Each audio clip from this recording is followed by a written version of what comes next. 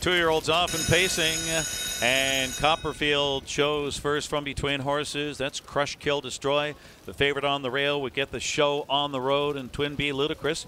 And sweeping up on the outside, Solar Solutions three wide. Was fifth, now third, and going on to challenge for the lead. Then we have J.K. Parcells near the rear of the field with sudden impact.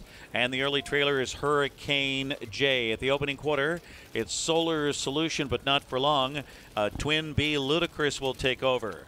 Sweeps to the front off a quarter of 27 and 1.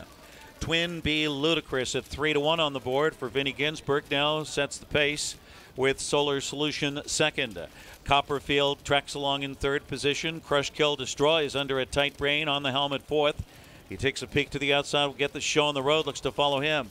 And then J.K. Parcells on the inside with sudden impact. And Hurricane J still trails at the half. Twin B Ludicrous the best there. Caught a breather at 56 and 329 two second quarter. Two hole ride for Solar Solution. And now quickly darting up there is Crush Kill Destroy. And Crush Kill Destroy sweeps right by Twin B Ludicrous with authority. Crush Kill Destroy now by two has been unleashed. Twin B Ludicrous back in second and going on a break was get the show on the road on that final turn. Passing three quarters, Solar Solution to the outside third, tracked by Copperfield fourth, three quarters, one, 25 and three. Crush, kill, destroy in front by length and a half, but under urging.